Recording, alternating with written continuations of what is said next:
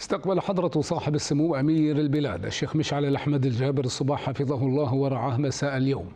أخاه صاحب السمو الملكي الأمير محمد بن سلمان بن عبد العزيز آل سعود ولي العهد رئيس مجلس الوزراء في المملكة العربية السعودية الشقيقة على هامش أعمال المنتدى الاقتصادي العالمي التعاون الدولي والنمو والطاقة من أجل التنمية وذلك بمركز الملك عبد العزيز الدولي للمؤتمرات بالعاصمة الرياض.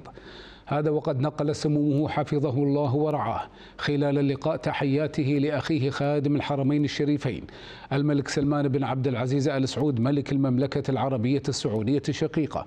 راجيا من الباري عز وجل أن يديم عليه موفور الصحة وتمام العافية ويحفظه بكرم عنايته وأن يسبغ على المملكة العربية السعودية الشقيقة نعمة الأمن والأمان والتقدم والازدهار في ظل القيادة الحكيمة لخادم الحرمين الشريفين. تم خلال اللقاء تبادل الأحاديث الودية الطيبة التي جسدت عمق العلاقات الأخوية الوطيدة بين البلدين والشعبين الشقيقين وسبل دعمها وتعزيزها وتطويرها بما يخدم مصالحهم المشتركة والتأكيد على دفعها نحو آفاق أرحب وتوسيع أطر التعاون بين البلدين الشقيقين وتعزيز التكامل الراسخ والوثيق بينهما في شتى المجالات وعلى كافة الأصعدة. كما تم خلال اللقاء مناقشة القضايا ذات الاهتمام المشترك وأبرز المستجدات على الساحتين الإقليمية والدولية. حضر اللقاء أعضاء الوفد الرسمي المرافق لسموه رعاه الله.